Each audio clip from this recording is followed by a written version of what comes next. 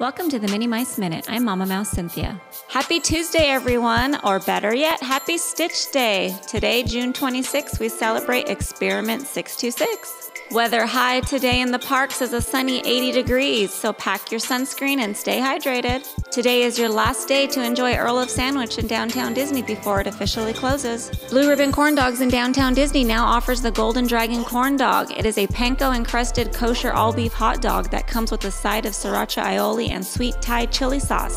The new Play Disney Parks mobile app makes its official debut this Saturday. With Group Play, it'll allow guests to turn wait times into play times. For more info, check it out now for pre order in the App Store.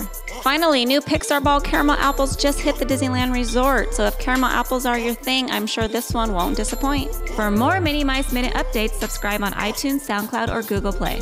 Thanks for listening. This is Minnie Mice sounding off. Until next time, be kind and spread some magic.